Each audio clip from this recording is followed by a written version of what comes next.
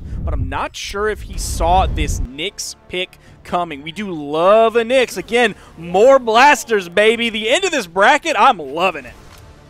Yeah, this is definitely a wild pick from Sandstorm. Again, Sandstorm just kind of playing around. This is a very confident Sandstorm that's willing to start off with some different picks, but he'll still have some similar stuff, right? He'll still have the scythe that he's known for, and he's oh, starting oh, off big.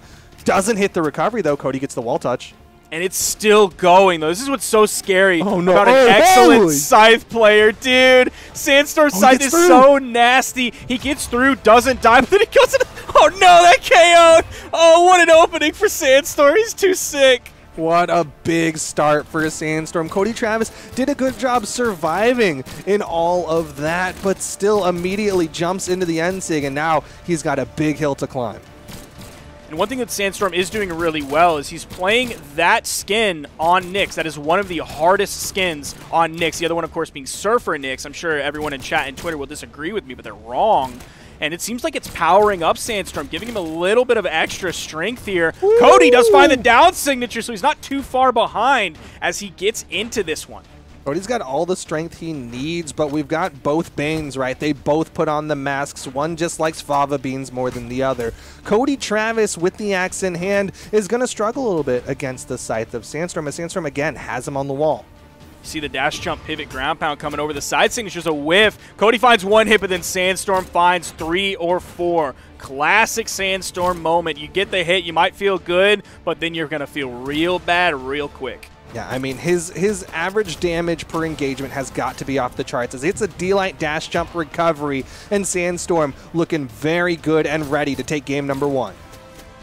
There's the side light. You see the dash jump turn around neutral light. Cody does find a hit, but then he's going to take a down light and a downer Oh. and a side light. Read the dash through. Cody Travis, though, manages to escape all that pressure. Sandstorm feeling comfortable on the wall. He's even playing high on it.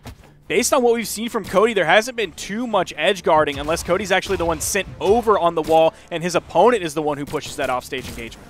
Yeah, Cody generally likes to sit on stage, doesn't even throw out like a dash jump fastball down air, which is one of the few options that blasters can have in that situation. Instead, Cody just kind of sits back, waits for the opponent, and that gives Sandstorm a lot of room to sneak up onto that corner as he hits the recovery, and he's one hit away from taking game number one. Sandstorm is so good, dude. There's like several times, like when we actually get into the grand final set, that we're wondering, like, oh, is this going to be the time? Is the is the dynasty over? And time after time, it's always just like, well, at least so far, it doesn't seem that way. I get upset watching how good Sandstorm is because someone inevitably is like, bro, they're so biased. And it's like, what do you. Did you see the same game? He just destroyed. Sit down. Sit He down, just popped off. Sit down, chatter. Like you see the earnings, you see the golds, you see the silvers, you see the bronze, you see the top 32s, the top 8s, literally everything you can gush about on Sandstorm because he's just that good. Look how he's opening this one up, forcing Cody onto the Oh! Reno pick. A classic Nyx option Okay, that they okay. love to fish for. Sandstorm hits those. That is the Nyx' dream. That that slide charge NSIG, they love to go for it. And Cody is struggling. He makes the swap to the Reno, hoping the orb is going to be the thing to help him out against Sandstorm. But Sandstorm is still hitting his shots.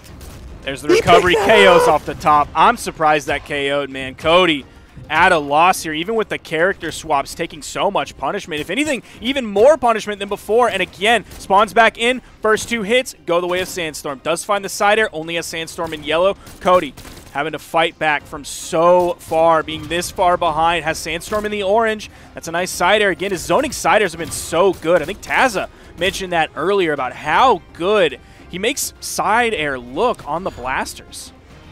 Yeah, I mean, it's got great reach, great range, but sidelight side air from Cody Travis is still not enough to get this stock off of Sandstorm. He has him in the red, and the side airs are not even going to put him off screen. Nice downer, and he gets the turnaround neutral air as well. Sandstorm's read on the movement is so good. He finds safe options all the time, it seems like. Yeah, he's just getting follow-up after follow-up. Cody Travis not able to get this one. The down air, the first time he really throws a hitbox on the edge, and Cody Travis is able to even it up, but he's definitely behind. That was good positioning and timing from Cody, though. He knew that Sandstorm was going to kind of get stuck on the wall over there when that recovery came out. We talked about the D-Light and the N-Light Nice. locking you in place on the blasters. The recovery has long active frames as well. They're kind of going back to back, almost like Charlie's Angels on that one. Yeah, trying to get that uh, poster shot.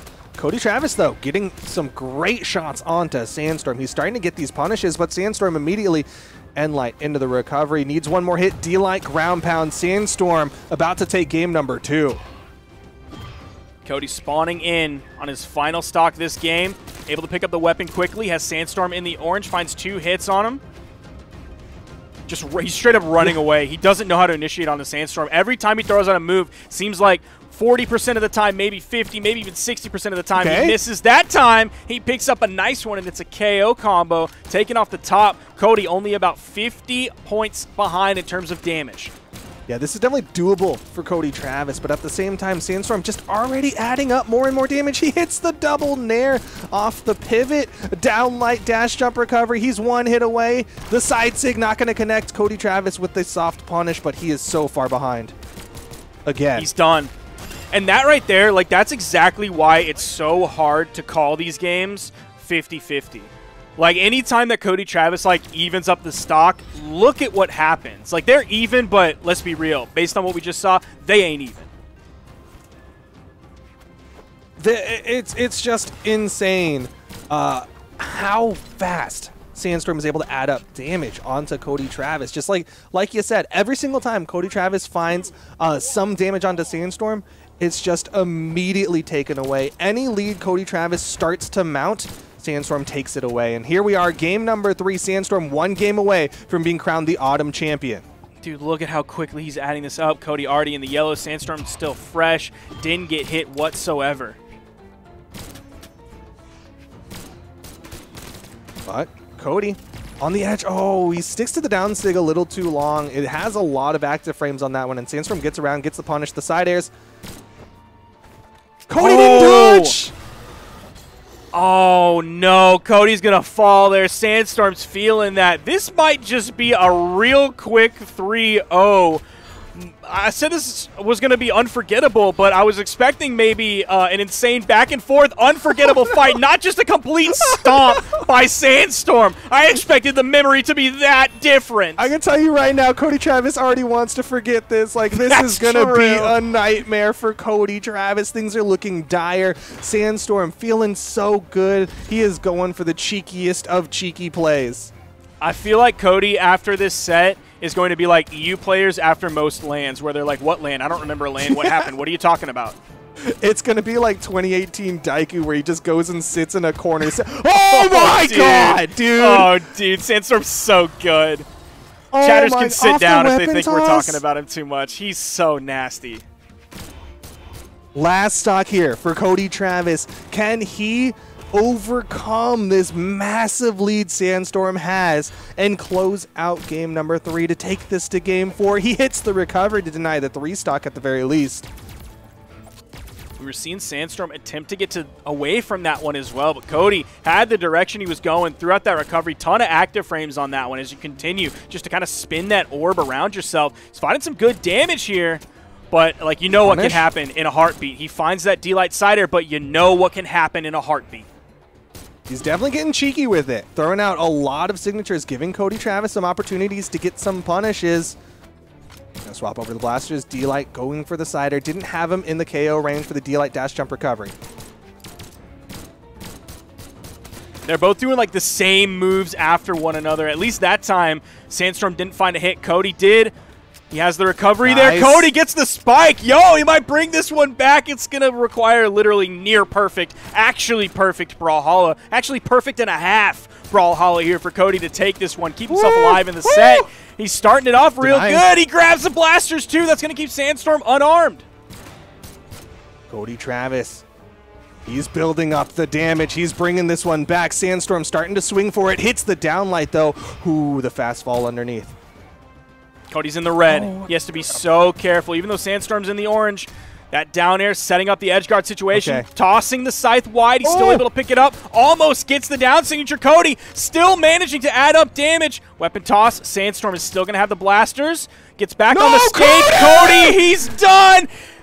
He almost saved him there. That's how confident Sandstorm felt. He's going to take that game, take the set 3 0. Sandstorm, yet again, your 2021 North America Autumn Champion. What a heartbreaker for Cody Travis, man. He was so close to hitting the reverse three, but he just flew too close to the sun twice there. He doesn't get the wall touch for the reset where he could have survived. But man, Sandstorm playing out of his mind, closing it out 3 0 in the grand finals to be crowned the autumn champion, like you said. Goes there. I can't believe Sandstorm even went for that GC sidelight under the stage. What a filthy player, the best to ever do it. Look at the damage right there. You would look at that and think like, hey, yo, good for Cody. I think he won that one. You see 528 damage, more for Cody Travis. Damage taken, 509. That's going to be less for Cody Travis. Damage per engagement.